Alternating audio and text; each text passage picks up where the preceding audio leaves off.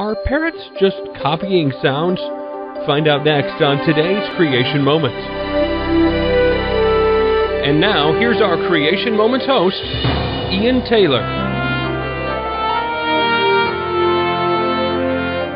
Researchers at Purdue University are demonstrating that parrots are capable of intelligent communication. Their carefully designed experiments have convinced even skeptics that the two parrots under study are not just giving conditioned responses.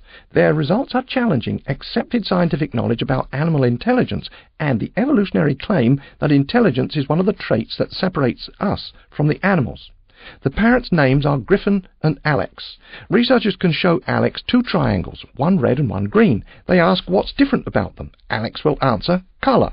When asked what's similar about them, he will answer shape. If there is nothing similar, Alex even understands the concept of nothing. Researchers say that about 5% of the time somebody will mistakenly tell Alex that he has given the wrong answer when he has not. Alex, however, insists that his answer is right until the questioner discovers the mistake. Both parrots can identify a wide range of objects. Both parrots are even picking up words they have not been systematically taught and using them correctly. Once, when Griffin was having trouble pronouncing a new word, Alex turned to him and said, Speak clearly. Evolutionists are now having to rethink their idea that intelligence separates us from animals. The fact that we were created in God's image to have a relationship with Him is what really separates us from the animals.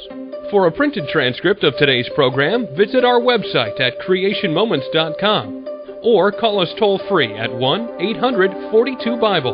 That's 1 800 422 4253. And be sure to join us next time for another creation moment proclaiming evidence of God's truth.